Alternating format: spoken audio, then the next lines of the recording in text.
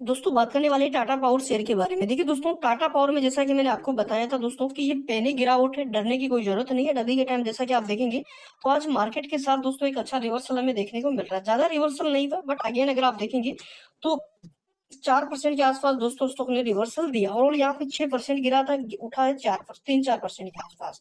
देखो भाई, अगर यहाँ से देखो अभी के टाइम वॉल्यूम फिर से आ रही है ना तो हम कह सकते हैं कि भाई अगेन फिर से धमाका ये करेगा और फिर जो पहले का लेवल था, उसके आसपास जाएगा। देखो हम एक चीज़ तो देख चुके हैं कि पहले पहले जो करेक्शन आया था, उसमें स्टॉक 360 के लेवल से रिवर्सल दिया था। और अगर अभी भी आप देखोगे तो आज का जो तो इंट्राडे लो था स्टॉक का दोस्तों, हमें यहाँ पे 300 सॉरी तीन के आसपास का देखने को मिला और उसी लेवल के आसपास फिर से ये देखने को मिल रहा है।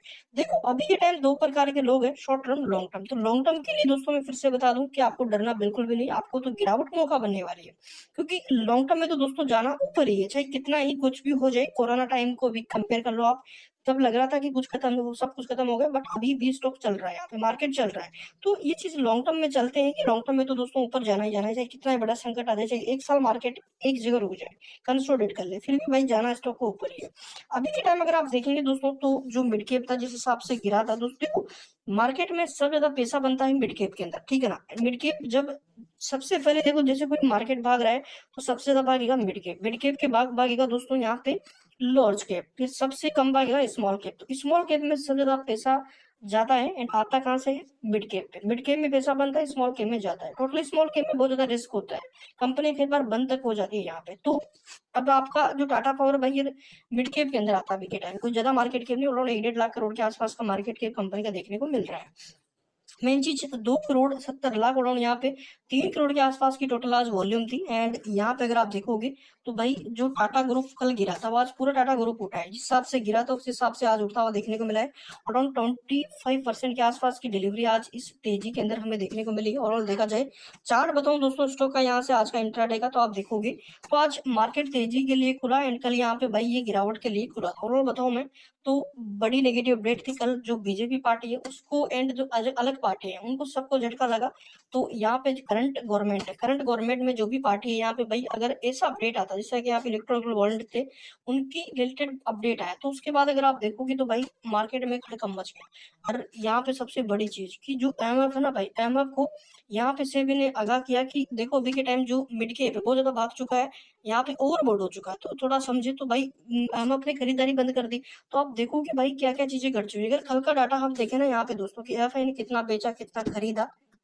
देखिए दोस्तों जो ये डाटा है चौदह मार्च का। और चौदह मार्च के आंकड़े हमारे सामने आ चुके हैं मतलब आज के। तो अगर आज का डाटा बताऊँ मैं यहाँ पे दोस्तों तो आज देखो ये टोटल बाइंग वैल्यू है। किसकी ये बाइंग वैल्यू ये एफ़ आई डी आई की दोनों की, ठीक है ना? ऊपर वाली डी आई की है, नीचे की एफ़ आई की है। तो यहाँ पे अगर आप देखेंगे दोस्तों तो एफ़ आई डी आई का डाटा हमारे सामने थोड़ा सॉरी उसके लिए। अब यहाँ पे अगर आप देखोगे भाई तो डाटा आपके सामने है। ये जो ऊपर वाला है, ये एफआई का सॉरी डीआई का है। ये बाइंग एफआई ने आज अराउंड दस हज़ार सात सौ उनतीस करोड़ की बाइंग करी है। एंड यहाँ पे सेल वैल्यू थी दस हज़ार पाँच सौ उन्यासी करोड़ की। टोटल अगर देखा जाए तो यहाँ पे बाइंग वैल्यू रही है आज डी आई की एक सौ उनतालीस करोड़ की। And F I P F I की बताऊँ मैं, चौदह मार्च मतलब आज की तो उन्नीस हज़ार आठ सौ चौदह करोड़ की तो इन्होंने नई बाइंग करी यहाँ पे, नई बाइंग अब आप समझते हैं कि अच्छे स्टॉक को दोस्तों ये पकड़ते हैं जिन स्टॉक में प्रॉफिट हो रहा है, उनको ये निकाल देते तो ये डाटा हमारे सामने टोटल इक्कीस हज़ार करोड़ की इन्होंने यहाँ पे सेलिंग करी है यहाँ पे। अच्छे अच्छे जो बुरे स्टॉक थे उनको बेचा एंड ये पैसा अच्छे स्टॉक पे लगाए जो कि डिस्काउंट में मिल रहे थे, जहाँ पे हम बेच रहे थे, ठीक है ना? और टोटल देखा जाए तो तेरह करोड़ की इन्होंने टोटली सेलिंग करी आज के इनकी तरफ़ से ये व्यू आज का देखने को मिला है। अब मेन चीज़ कल का बताऊँ दोस्तों, देखिए दोस्तों, अभी के टाइम अगर आप देखेंगे तो ये टोटल सेल क्वांटिटी है, ये यहाँ पे बाइंग क्वांटिटी ठीक है ना? परचेज ये किया गया है एंड यहाँ पे ये नेट परचेज यहाँ पे क्वांटिटी की गई है। तो टोटल अगर हम देखें दोस्तों, तेरह तारीख का डाटा यहाँ पे कि तेरह तारीख कल थी तो तेरह मार्च का डाटा हमारे सामने यहाँ पे आप देखोगे तो आपको देखने को मिलेगा।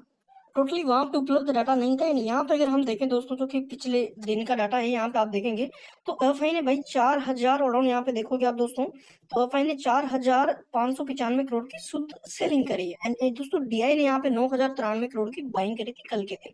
अब कल के दिन अगर आप देखोगे टोटली पूरा मार्केट गिरा था बट भाई डीआई बहुत चला है। डीआई मार्केट गिरने देता है, गिरावट में खरीदता है। ऐसा नहीं की स्टॉक को संभालेगा। नहीं भाई, गिरेगा, गिरावट में उठाऊँगा। टोटली कल हम माल बेच रहे थे एंड यहाँ पे डीआई वाले खरीद रहे थे। तो भाई, बड़े प्लेयर्स ऐसा ही करते हैं।